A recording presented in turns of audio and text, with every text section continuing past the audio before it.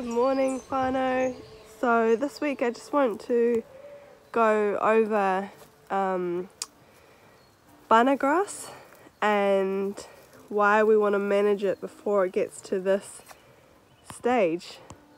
So for those that haven't heard of us uh, use the term senescence, this is what we mean. So you can see the whole plant is under quite a state of stagnancy. It's reached a real maturity in its leaves and its canes. And as a grass, the worst thing for grass is actually to be choked by its own foliage. So you can see here it's just thick, thickly choked up with all its foliage and it doesn't have much room for any of the new sprouts underneath to really make it through. So this is not at all what you want to have and this is what uh, we try and avoid by doing our heavy pruning and our regular sort of pulsing chop and drop pruning of the food forest so that every plant in the system is lush and vigorous in growth and healthy and never gets into this sort of senescency stage. Another big indicator of senescent stage of a bana grass is when it starts sprouting out the sides here of the canes. You can see it's sprouting out the canes themselves um, because no new shoots are able to come through a lot of regrowth is coming from the very buds themselves. And all the canes are very mature, well formed. Uh, you don't want it to get to this stage. This is where management becomes a lot harder as well and and it becomes a fire risk because you've got all that dry material there um, that can just be yeah caught up in flames in no time. So this is not at all the situation you're wanting. This is senescence. So I'm going to now go through and fix it up. Um, so I'll be chopping back all the canes right down to the bottom. I'll rip off all those dry leaves and um, and yeah just free it up a bit expose it up to some more light and then all that energy can pump back down to the ground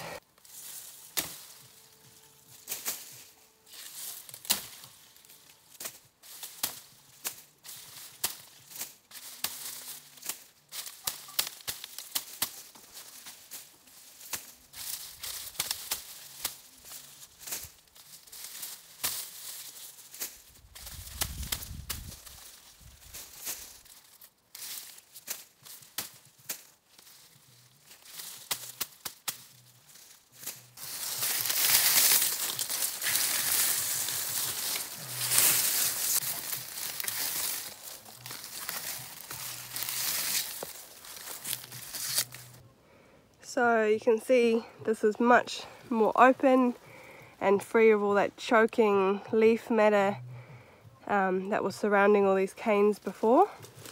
And you can even see that here there's some young shoots that are wanting to come up which are really struggling um, to do so uh, in, in their past situation. So by opening up, by keeping it open, by by keeping this grass um, open and not maturing into this senescent state, um, we're able to rejuvenate and actually have this clump producing more nitrogen-rich, vital biomass um, than if we were to just leave it growing to such a senescent state.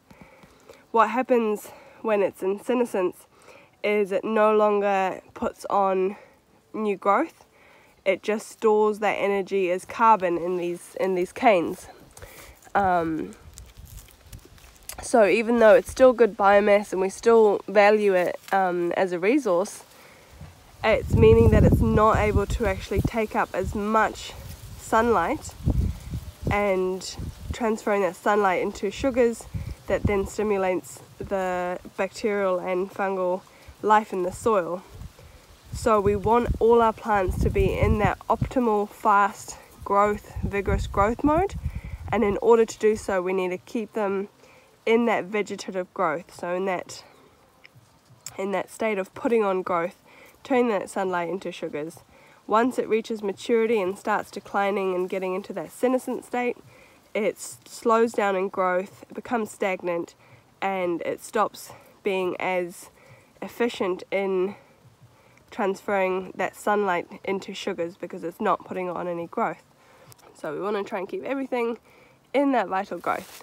And you see here, I've left one cane standing.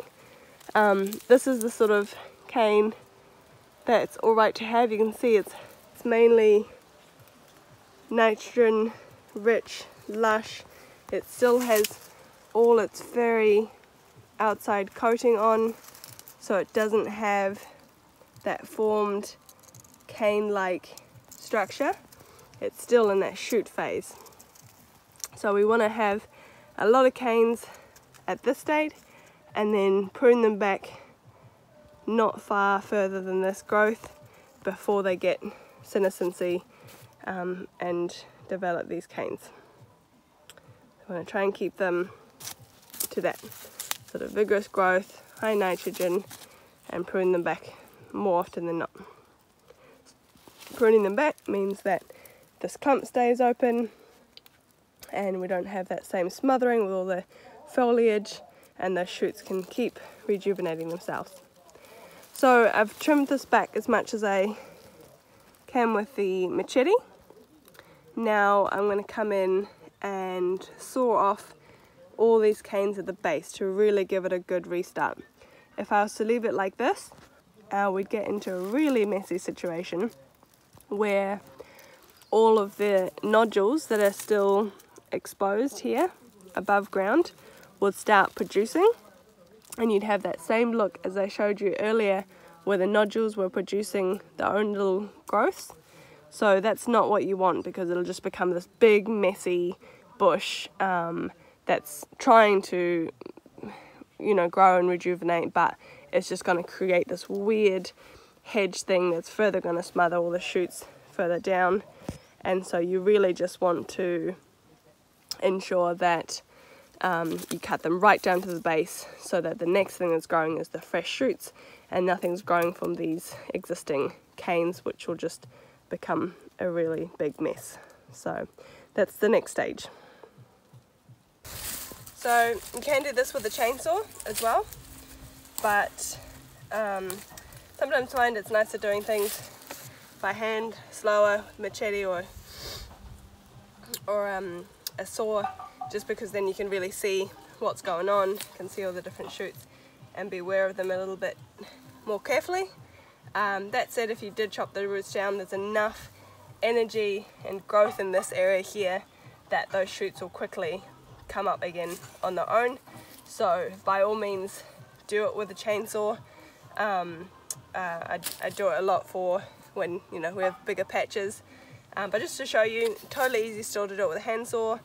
Um, but yeah, it does take a bit more time and you can just imagine if you had a whole row of this as part of your syntropic system, just how much uh, longer you take doing everything by hand. That said, of course, the other point of addressing the situation and and why we don't want it to get to that senescency phase is because the amount of labour that's required um, when you do let things get to that state versus if you're on top of them and you're keeping them in that reju rejuvenated state then you basically can just go with your sickle and machete slice off the sort of succulent young shoots as they grow and and keep it in that really lush um, easy to prune easy to manage um, high nitrogen rich and and photosynthesizing plant um, that you want it to be. So yeah, that's how you manage a bana grass clump and this would apply to sugarcane or your miscanthus or any sort of grassy clump that you've got in your system. Uh, you want to give it a good reset when it hits that sort of senescence, stagnant state, um, and ideally keep it in that rejuvenated state, which makes management so much easier. That said, um, this whole um, intervention here took me just 10 minutes, so it's definitely doable. And um, yeah, hopefully it's given you insights as to how to approach what may seem like a daunting uh, situation and just get into it. Um, you really feel the energy coming back to you once it's reset, just saying thank you, um, a nice cleansing, a nice reset. So yeah, once you know why and once you do it, you really understand um, just how much plants really value this sort of intervention, especially your grasses, um, but this applies to all your different plants as well. You want to avoid that senescence, you want to avoid that hormone that creates that stagnancy in all your other vegetation. You want to keep your whole system in that rejuvenated state. So yeah, um, thanks again for joining us um, this week on Patreon and I uh, look forward to seeing what the comments have to say and um, yeah, thanks again and see you next week. Ka kite.